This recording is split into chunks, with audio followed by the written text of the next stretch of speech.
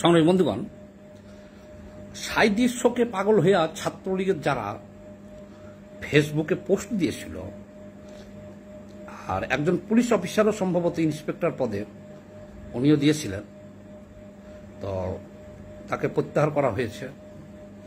তাকে মনে হয় খাগড়াছড়ি দেওয়া হয়েছে। আর এই ছাত্রলীগের মোটামুটি শতাধিক ছাত্রলীগের লিস্ট নাকি শুনলাম, আওয়ামী লীগের কেন্দ্রে এসে পড়ছে। তার মধ্যে এ পর্যন্ত পঞ্চাশ ষাট জনের বহিষ্কার করা হয়েছে। এখন আসল ব্যাপারটা হলো কি? বলি, এখানে দুইটা দিক আছে। একটা দিক হলো, এই যে প্রধানমন্ত্রী তাহাজ্জুদ নামাজ পড়েন, এটা আওয়ামী লীগ থেকে ব্যাপকভাবে প্রচার করা হয়। তারপরে দেখেন, কৌমি জননী উপাধি প্রধানমন্ত্রী নিয়েছেন, হেফাজতে ইসলামকে অনেক সুযোগ সুবিধা দিয়েছেন। তারপরে মৌলবাদীদের সাথে সন্ধি করিয়া পাঠ্যপুস্তকেও এই সরকার অনেক কাটছিট করছে, তাদের অনেক অনৈতিক দাবি মাইনা নিয়ে নিয়েছেন, নিয়ে পাঠ্যপুস্তক সংশোধন করেছেন, পাঁচশো ষাটটা মডেল মসজিদ করে দিয়েছেন। যে কিছুদিন আগে আবার ওলামা লীগকে স্বীকৃতি দিয়েছেন আওয়ামী লীগ। এখন সবচেয়ে বড় কথা হলো কি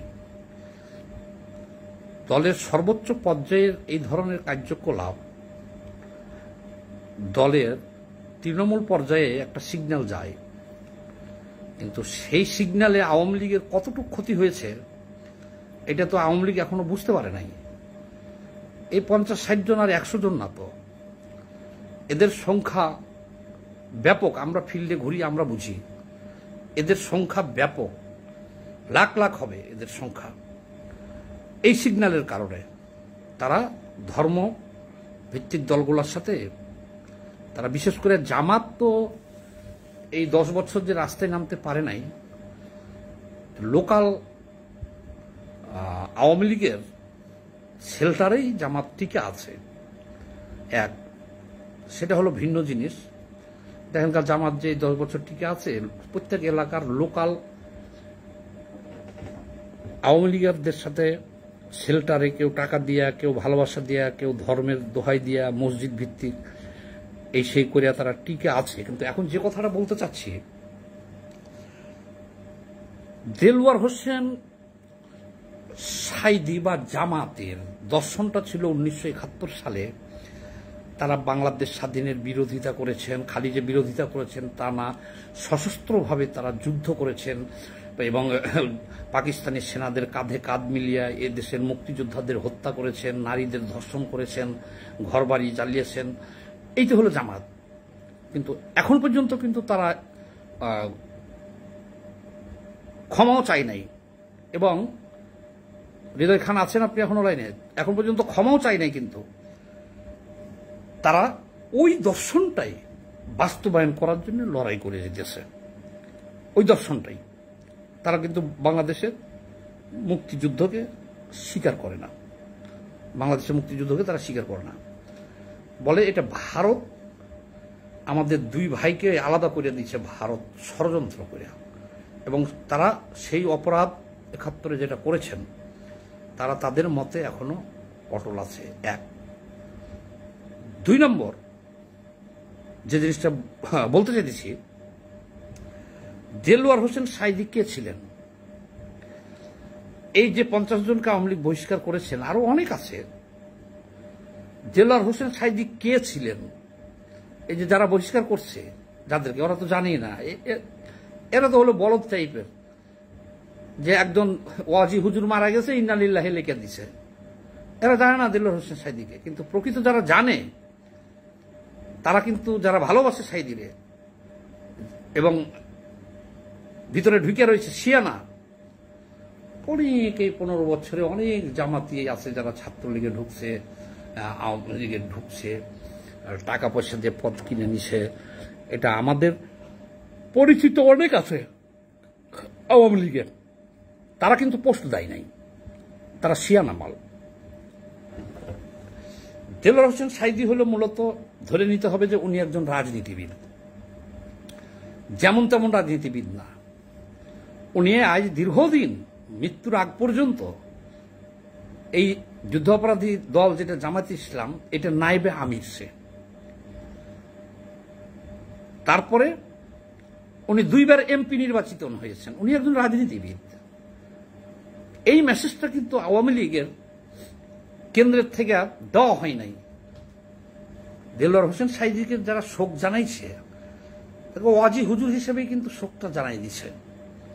এবং অজি হুজুর আল্লাহ লোক সে বিশাল একজন সৎ মানুষ, কামেল পীর। নাজির হোসেন উজ্জ্বল ভাই দেখছেন আমাকে যে দেলোয়ার হোসেন সাইদির পরিচয়টা কিন্তু দেশে এইভাবে। সে কোরআনের তাফসিকারক সে একজন আল্লাহ লোক কিন্তু সে যে একজন যুদ্ধ অপরাধী তাকে যুদ্ধ অপরাধের দায়ে দণ্ডিত করা হয়েছে সে জামায়াতে ইসলামের এখনও স্টিল নায়েবে আমির। এই ব্যাপারগুলা একজন রাজনীতিবিদ যেটা আওয়ামী লীগের প্রতিপক্ষিত তাহলে এই বিষয়গুলো যদি আওয়ামী লীগের তৃণমূল পর্যায়ে পৌঁছানো যেত মেসেজ দিত, তাহলে কিন্তু এটা হইতো না। কিন্তু সবচাইতে বড় কথা হলো, আওয়ামী লীগের ভিতরে এখন অনুপ্রবেশকারী আছে প্রথম আলোতে দেখলাম। লক্ষ লক্ষ জন। অনেক জামাতি তাদের ভিতরে ঢুকে গেছে।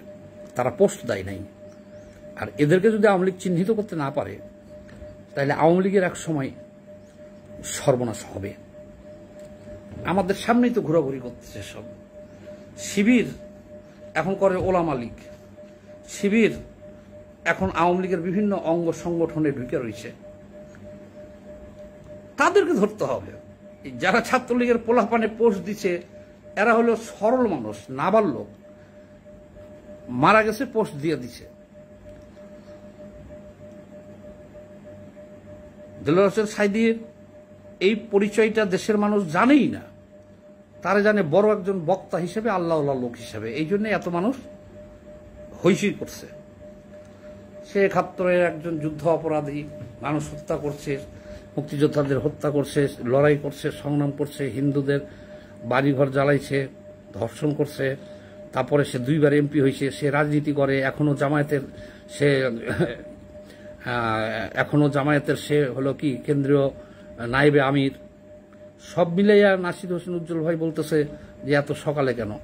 সকাল তো এখনও হয় নাই, আমি তো ঘুমাই নাই। আরও পরে ঘুমাইতে যাব ভাই, কাজে ছিলাম। তো যাই হোক এই যে আওয়ামী লীগের তোলপাটটা হইছে, তাহলে এখন আমরা মনে করি এই দোষটা তৃণমূল পর্যায়ের এদের না।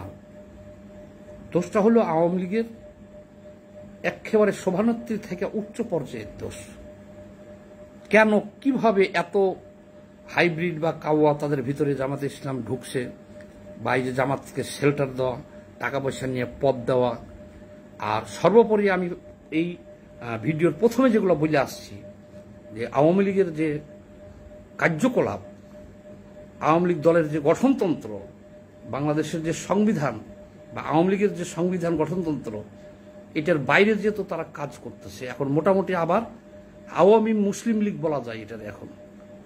আওয়ামী মুসলিম লীগ চরিত্র ধারণ করছে। এখান থেকে যদি আওয়ামী লীগ বের না হয় তাহলে বাংলাদেশও আফগানিস্তান হয়ে যাবে আর আওয়ামী লীগ আর আওয়ামী লীগ থাকবে না তার নিজ চরিত্রে। সবাই ভালো থাকবেন, ধন্যবাদ।